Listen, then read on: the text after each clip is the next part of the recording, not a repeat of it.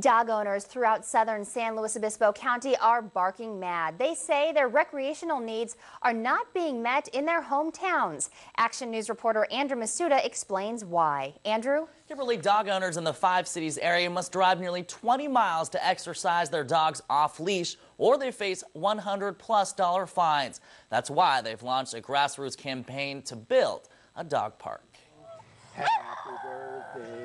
Bunky isn't the only one singing the blues at this Arroyo Grande Park.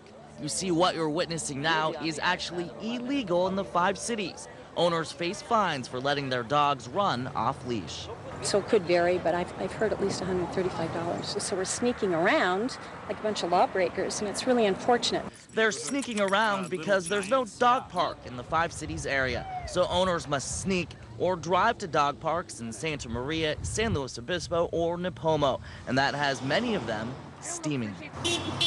Recently, Grover Beach Police and Animal Control began enforcing the city's leash ordinance at Costa Bella Park. For years, this now barkless area was the Five Cities' unofficial dog park. It got so popular, and the neighbors did not like that many dogs in that little neighborhood park. So Grover Beach literally shut us down, and we have no place to go. That's why this group of dog owners launched a grassroots campaign to build a dog park in the Five Cities area, something similar to the one in Nipomo. The fenced-in space offers security for Lynn May and her owner, Cody Reed. The former Five Cities resident's German Shepherd was hit by a car and killed at Costa Bella Park. Yeah, like the one here, it's enclosed, and there's no there's a boundary on where the dogs can go. They just can't roam onto the street and get hit. But these owners, known as the Five Cities Dog Park Association, say they shouldn't have to drive miles so their dogs can do this. So taking a cue from this dog, they're taking their idea and running with it. We need land, and we would like a fenced-in area so it's safe for the dogs and for the people, and we want close.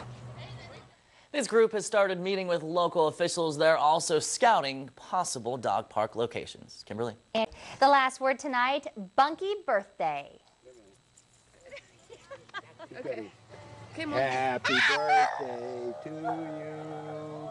Happy birthday to you. All right, most dogs can sit, stay, and roll over, but Bunky the dog, well, he can do much more. As you just heard, he can sing happy birthday and utter a few words like mama. The proud pup showed off his skills for us tonight, and we must say he's paws down one of the best crooning canines we've ever seen. More of a backup tune, singer. Huh? More of a backup singer. Yeah, I but think still so. very good. Very, very cute. Good song. Do more than my dog. That's going to do it for us tonight. Thanks so much for watching. Have a fabulous weekend. We'll see you back here on Monday. Absolutely. Good night.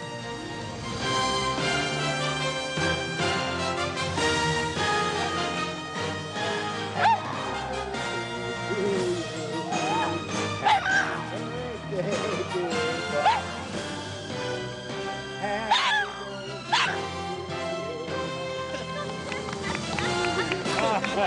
to you.